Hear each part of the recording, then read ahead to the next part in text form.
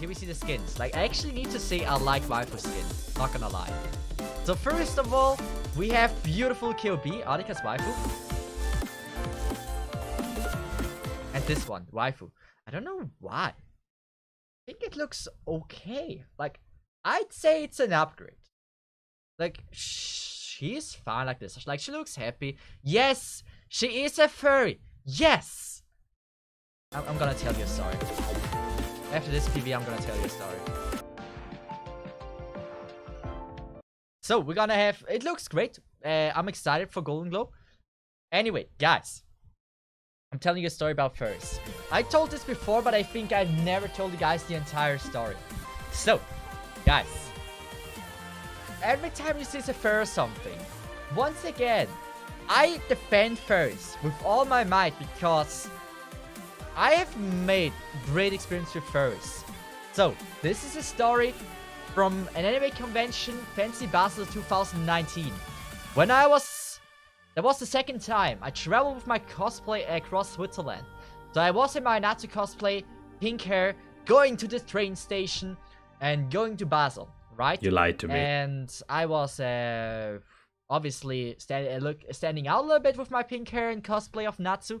But all in all, wasn't too bad, right? So my friend was in the cosplay, but we traveled there to Basel. First, we went to the uh, hotel, hotel, and then at the reception, they told us, hey, we hey, don't have a room for the next, like, I don't know how many minutes to clean everything.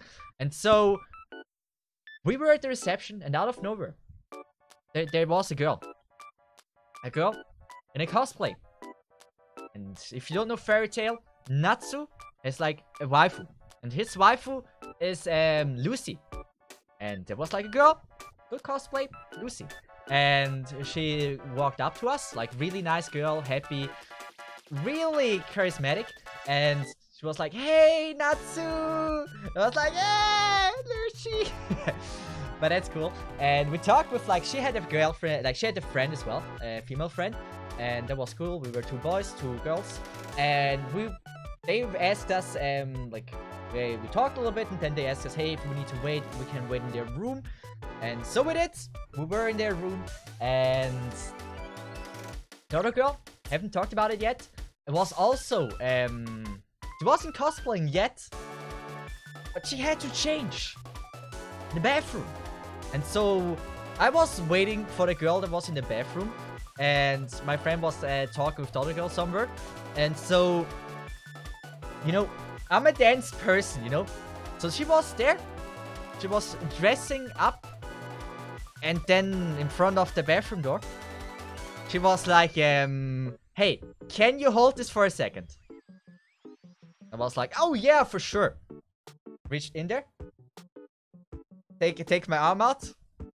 And I'm holding a bra. So, uh, so I was holding a bra. And I was like, okay, never mind then. I yeah, cool. and some say this is a sign, you know? Some say like this is like the, the hint that someone should take, you know? Like those like the, the, the this is like like imagine like the main character. It's like the girl is trying to show oh yeah there's like there's something. But I was like I didn't do anything. I didn't realize. I was too innocent and everything. So I was just holding the bra waited until, I don't know, until she was done. But I think there was like a, a, a sign that she might be interested in me. I, I uh, yeah, she was beautiful girl, like, wow. And then when she was uh, done dressing up and everything, uh, out of the bathroom, walked, like it was, uh, how do I say this? It was naked. It was actually the opposite of naked. She was a furry. and so in front of me was now a furry little girl. Still beautiful, but um, she's nice. Okay, so which like uh, we decided that we enjoy the convention together for the next three days, and we spent pretty much uh, the next three days all together, and there were hints, you know? There were big hints. She invited us to a party or something. And I don't know why my friend had a headache and I, I felt like, nah, I'm not, we're not going then. But like they invited us and everything. And yeah, they're braless under, I, I think. Yes. It's really hot in there.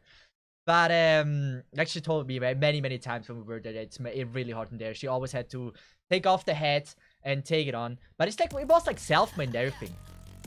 Really well done, like a really good fursuit. But um, I said, like, girl, she's, she was older than me. But uh, and throughout the entire convention, like, she gave some hints and I was to then to notice. Like, uh, only after the event I realized, yeah, there were some hints. At the end, she gave me her, she gave me her phone number. You know?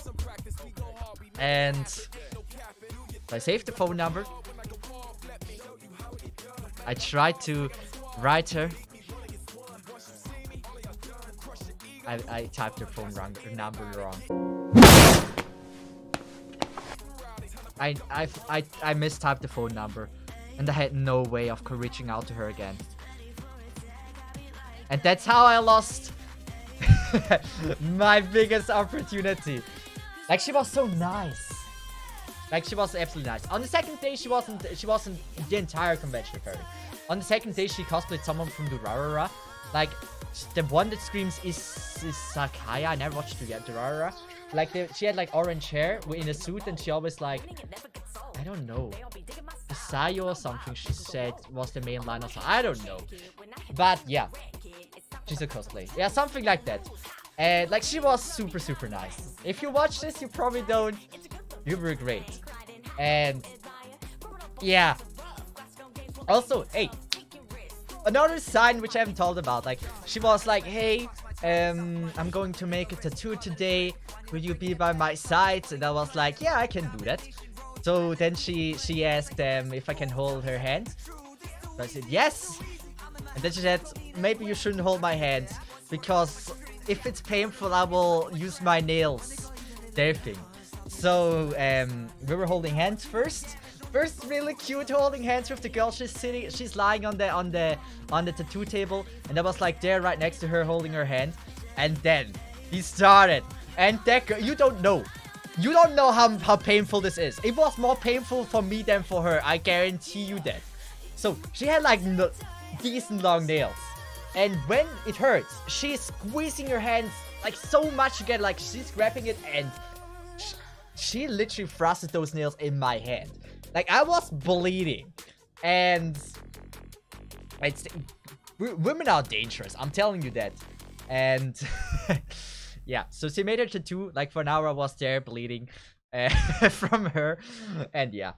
But uh, that's like my convention story, I would say, which I think I remember the, yeah, how the fuck do people hold hands? Like first we were holding hands normally, but um, then she started to like using her nails, and then I had to obviously readjust the position so it so she she is going more into the flesh and into my bones. It's actually interesting story if you think about this.